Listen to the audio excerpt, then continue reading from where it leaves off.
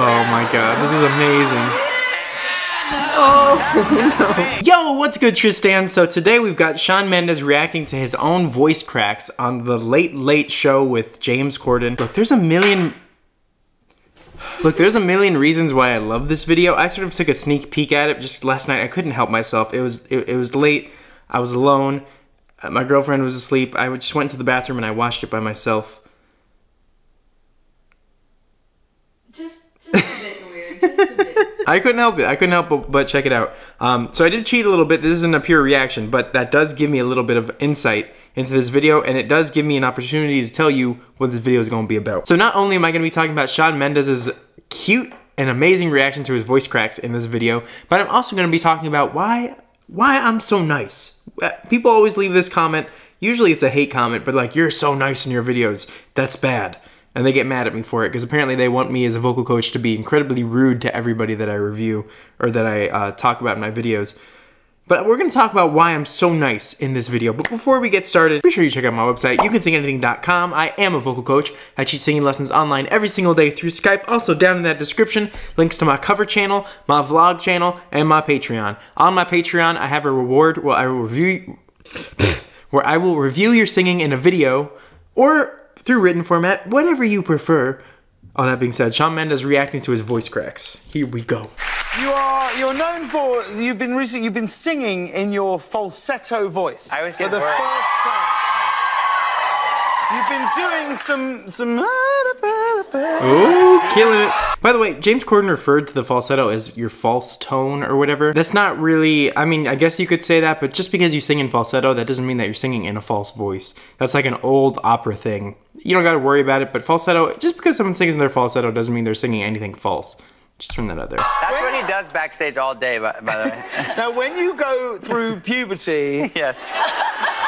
Your voice gets lower. Yeah. Um, how did you discover that you could sing so high?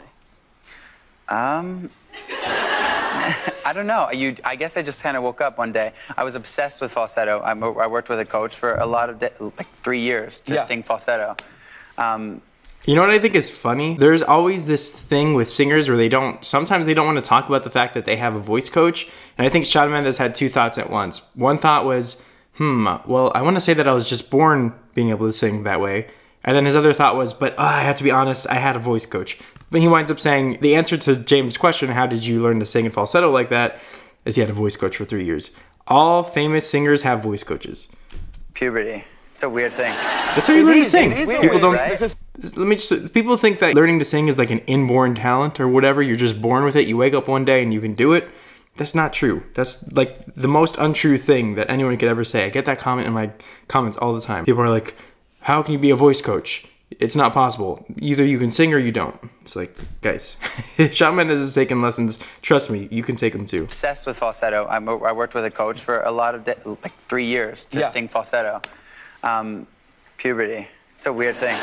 it is. It's it is a weird, weird right? thing because also your your voice was changing quite a lot in the last few years. Yeah, and you it's- saw me like at the beginning of puberty, halfway through. Yeah, I've Now I'm been a full-grown man with every chest step hair. of the way. that but we've handhold though actually i'm cut together a little video of Oh Shawn no.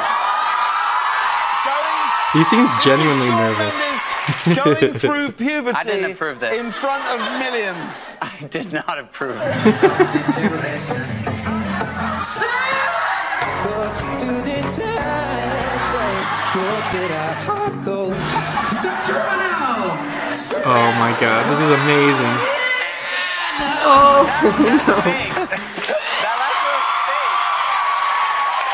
Look, he's genuinely nervous and like freaked out about that. Did you see how he's like, oh, that last one is fake. No, no, please don't judge me for the last one. That last one wasn't real. Someone made that up. That, oh my god. Epic cringe. He's like genuinely nervous about this. It's actually, it's really funny. Well, not funny, but I can't think of the right word. Another question that I do get a lot, by the way, is like, oh, when I sing, sometimes my voice cracks. Or like, how do I stop it from cracking? You don't stop it, your voice from cracking. You just get better as a singer over time.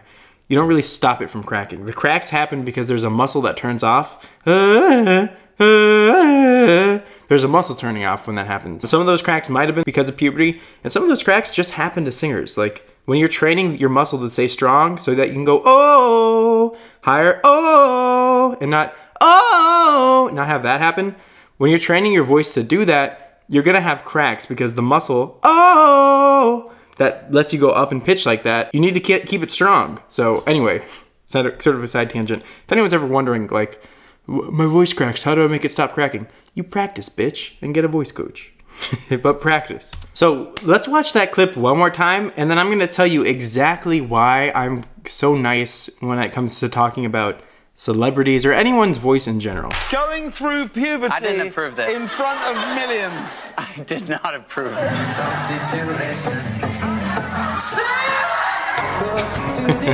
Look at him, watch him. His reaction to it. He's genuinely cringing. That, that's fake. He's sweating, he's getting embarrassed.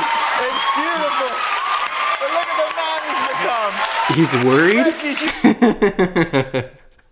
and James Corden is very, very smart. He breaks the ice really quickly by jumping to the next segment. So, you know, sometimes we'll be talking about a singer, and maybe the singer has some technical issues in their singing, and it's a video that I'm reviewing, and then I I like to focus on the bigger picture. Like if someone's voice cracks, sometimes people's voices just crack. It's just something that happens to your voice in the context of a performance. Sometimes a note goes flat. It just happens.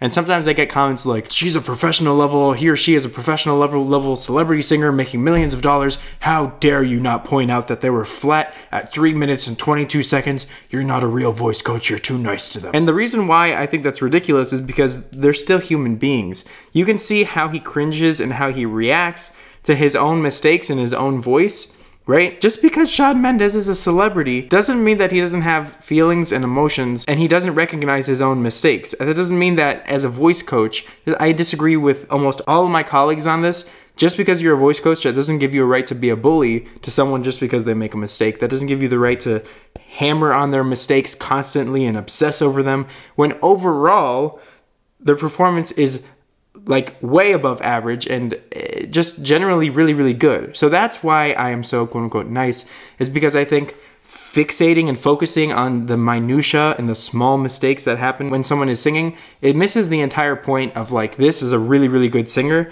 and we need to respect that first and admire that first and then the mistakes just come along with that. It, eh, mistakes come along with being great at something. So hopefully that makes sense to y'all. I thought this was this would be a great video for me to address that. And also it's just really cute. if y'all want to check it out one more time, let's check it out one more time. Let's just hammer home this point. This is Shawn Mendes going through puberty. I didn't approve this. In front Look at how millions. he's acting right now. He's did like, not approve he's like, no. He and look, here's something I want you to notice too. He already knows the clip before it even plays. Well, look at his going face. through puberty. He already knows. in knows. front of millions. I did not approve this. The crack hasn't even happened, and he's already like, oh no, not this clip. Please, please, please, please, please, please. You think that these celebrity singers aren't acutely aware of their mistakes? Of course they are. They, they, you don't get to that level of success and talent by not being acutely aware of your mistakes, almost cringingly aware of them, and your faults and so on.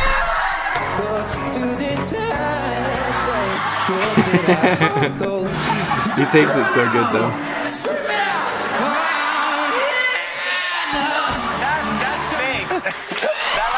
He even knows when when it's fake. It's so funny. He's like, oh no, I've, I've been waiting for to address this. That one is fake. That one is fake. he knows which ones are fake and which ones aren't fake. So yo, all that being said, everybody, be nice to each other. You know what I mean? Be nice to each other. Be nice to your own self about your own voice. Be nice to other people when you leave in comments about someone's mistakes or someone else's voice because they already know. People already know what they're fucking up. You know what I'm saying? They don't need you to remind them. Anyway, be sure you check out my website, youcanSingAnything.com. I do teach singing lessons online every single day through Skype. Also down in that description, again, links to my vlog channel, my cover channel, and my Patreon. Peace out, Tristans! Ah!